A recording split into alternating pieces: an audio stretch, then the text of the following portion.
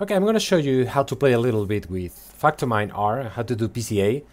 And I'm going to use a data set, which is uh, breast cancer data. So you can download it from, from the description. And here we go. So let's first take a look at inside. Breast.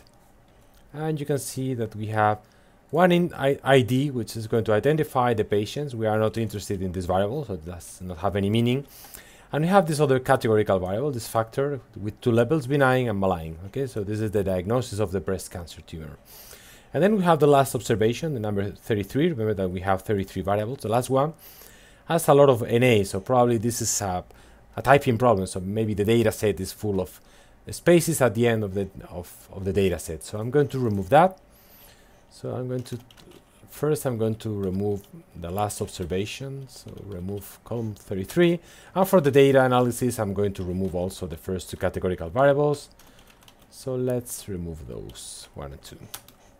Okay, let's check this again. Now we have 30 quantitative variables, so everything should be fine. So be before starting this P PCA analysis, remember that PCA is going to work if you have a lot of redundancy. And in order to check redundancy, I'm going to plot a correlation matrix. So remember this library corrplot. And I'm going to do a corrplot, computing the correlation matrix of all the variables in my dataset. Okay, and you can see this could be zoom a little bit. Forget about the diagonal. Actually, we can remove the diagonal. False. So you can see a couple of interesting facts. So one is, is that everything is almost blue. That means that all the variables are positively correlated, but I'm not interested in that. What I like about this diagram is that you can see that you have a lot of large circles. And large circles means that you have variables which are strongly correlated. For instance, the, the perimeter of the tumor is highly correlated with the area of the tumor, which is obvious, but this means that we have a lot of redundancy in, in this data set. So um, principal component analysis is going to work pretty well. We're going to do a lot of compression of, of this data set. Okay, so let's start with that. I'm going to put everything in this results variable, results PCA, and remember I'm going to use the function PC, PCA from the Factomine library. So let me load the library FactoMineR. Okay, I'm also going to load factoextra for visualization. Okay, so now we can play a little bit. So let's play with the data. I'm going to use all the default parameters. And here we go. So now for free, we have this correlation variable. And this is interesting. Now you can see that all the arrows in the first dimension are pointing to the right. What's the meaning of this? The meaning of this is that all, all the loadings are going to be positive, and that means that the first uh, the principal component is going to be a scale factor. Remember that we have this difference between scale factors and shape factors. So the first one is, is going to be a scale factor. And a scale factor is good for classifying individuals, but it's bad for classifying variables. And as you can see here, the second dimension does a better job classifying that. And we're going to explore later the third dimension. Okay, next step, let's inspect the eigenvalues. And we can simply print PCA eigenvalues. Okay, so remember we have to a couple of criteria in order to, to say how many dimensions are we going to require. The first criterion was everything that has an eigenvalue larger than 1 is going to be relevant. In this case, you can see that the last one with eigenvalue larger than 1 is component number 6, dimension number 6. And that means that with 6 dimensions, we're going to capture all the relevant information. And the other criterion was try to settle a, threshold. Let's say that we say 70% is going to be good enough compression for me. If we use 70%, then just three uh, principal components will do the job. If we take, let's say 90%, we're going to require six or seven principal components. Okay, but that, it, it seems that with three components, we're going to have a lot of information there. Okay, let's plot this to, to have a visual idea of, of, of these eigenvalues. Eigenvalues uh, res PCA. Okay, so here you go. You see that the first one is the one which is contributing the most. The second one is also nice, and then we have this sort of plateau. Actually, th there is this idea that you can also use this elbow method, as in in k-means clustering or in clustering in general, to say how many dimensions are you going to require. And in this case, the elbow is around three. So another criterion is using this this this representation to say that three is going to be my threshold. Let's take a look at correlations again. between variables and PCA. So we're going to use this function PCA variables res PCA. And here we go, we have the same representation as before, but now we can change, we can say that we want to plot, let's say, the second and the third axis, and now you can see, as I was mentioning before, so scale factors are great for classifying individuals, but, but in this case, using dimensions 2 and 3, we're going to have a better description of, of that. So repel is going to be slow in this data set because it's large, but now let's plot some repel so we can understand a little bit this this information. And now you can see that the, the, the arrows that are, are lower angles. In this case let's say radius mean is going to be correlated negatively with dimension 3 and symmetry mean is going to be co positively correlated with the other one and so on and so forth. But again this is not the best way to represent the data. We have other choices and I'm going to use uh, again a, correl a correlation plot correlation plot of the residual coordinates. Okay. And here we go. So again, I'm saying the same things over and over again because I'm, I'm trying to show you the, the, same information under different angles. So first you can see that all the circles are in the of the same color in the first one. So this is a scale factor. And dimension 2 and dimension 3 is a shape, are shape factor because you, you can see blues and reds all over the place. Okay, so let's now take a look at individuals. So let's, oh, first of all, let's see the contribution of each variable to, to each principal component. Contribution. Okay, I'm going to, to use choice equals var. So now I'm plotting the contribution to the, the first principal component. You can see that we have a lot of parameters contributing there. We can also take only top 15, let's say. So we're cutting this diagram, but in this case, I think it's better to plot to plot them all. Now we can say the same, but just which are the, the ones contributing to the second principal component. As you can see, there is one which is contributing the most, which is this dimension mean. This is the size, let's say, the dimension of, of, of the tumor. And we can repeat this for number three. And as we are saying that the first three components are going to be the most relevant, we can aggregate all those charts. So we can say what are the most important variables regarding the three of them.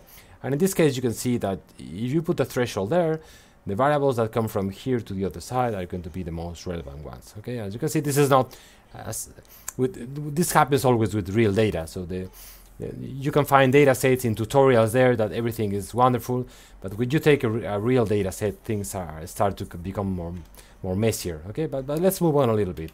Now let's take a look at individuals. And now we're going to plot again a fviz PCA individuals, res PCA. And you see this cloud of points. We don't see anything clear, but now we have this idea that we can use an index for coloring individuals, and we're going to use that categorical variable, which we know what is, that is relevant there, which is diagnosis. What happens if we include that? Oh, this is wonderful. So you can see that the first dimension is almost the, the, most relevant one. So if you want to classify patients with a uh, a benign tumor it's going to be the red, the reddish points there. Then the first dimension is doing all the job. So everything that has a negative dimension is going to work pretty well, and everything that is a positive dimension is going to work in that in that regard. It's going to classify the malign tumors pretty well too. And actually, you can do a couple of things here. So you, could try to do some clustering using this information, or better, now that you have the real information of benign and malign tumors, you could go back to the, the first part of the course when we talk about classification and try to use, I don't know, logistic regression if you want to say what's the probability of having a cancer. And you can see that the classification is pretty good just by taking these two dimensions. So let's take a look at what happens when we mix, let's say, axis 1 and, sorry, axis 1 and 3. Oh, sorry, uh, missing bracket. Uh, okay, let's repeat this.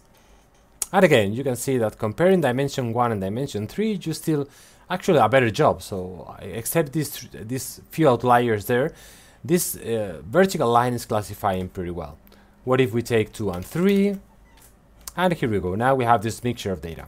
So what's the interpretation of this? The interpretation of this is that the, the first principal component is a scale factor, and scale factors are amazing classifying individuals, but do a, a poor job classifying variables.